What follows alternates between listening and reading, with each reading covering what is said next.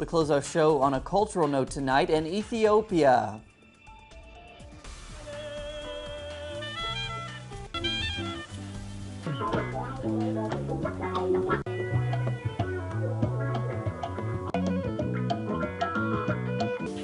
The Selam Music Festival took place over the weekend, blending traditional rhythms with electronic music.